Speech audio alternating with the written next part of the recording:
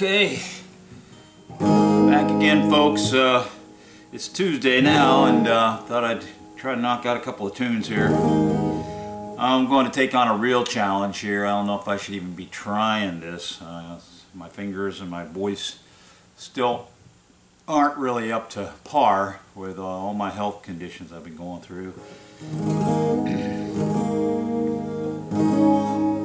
So I ask you to uh, keep praying for me. I got some bad news today. They said one of my kidneys is dead, but uh, at least my creatinine levels uh, are down to um, my norm where they were, uh, about two, two and a half, so that's a good thing. But I basically only have one kidney functioning, so I'm dealing with that and my heart and bladder issues and a bunch of crap. So this is why I play uh, basically for myself keep my sanity and uh, for posterity case something happens to me, I'll have some of these videos uh, for my son and my grandchildren to watch uh, someday. So I'm going to attempt this and uh, hopefully I can hit the notes.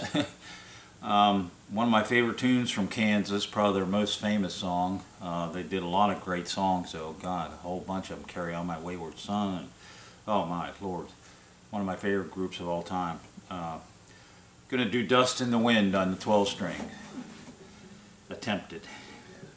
Here we go.